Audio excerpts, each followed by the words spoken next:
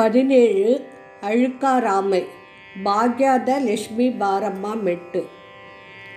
ஒழுக்கார கொள்க ஒருவன் தன் நெஞ்சத்து.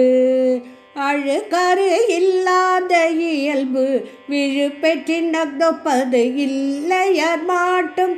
அழுக்காட்டின் அண்மை பெறின் நரநாக்கம் வேண்டாதான் என்பான் பிறநாக்கம் பேணது அழுக்கு அறுப்பார். அழுக்காட்டின் அல்லவை செய்யார். இழுக்காட்டின் ஏதம் படுப்பாக்கு அறிந்து.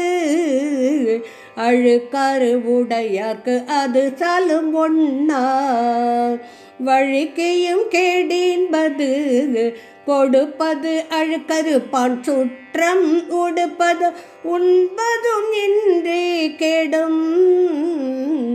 அவ்வித்து அழுக்காறு உடையணை செய்யவள்.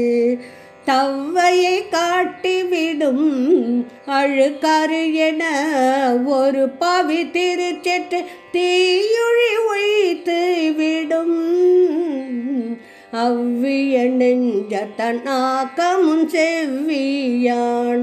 கேடும் நினைக்கப்படும் அழுக்கற்று அகன்றாரும் இல்லை அக்தில்ல பெருக்கத்தின் தீண்டாரும் இல்லை.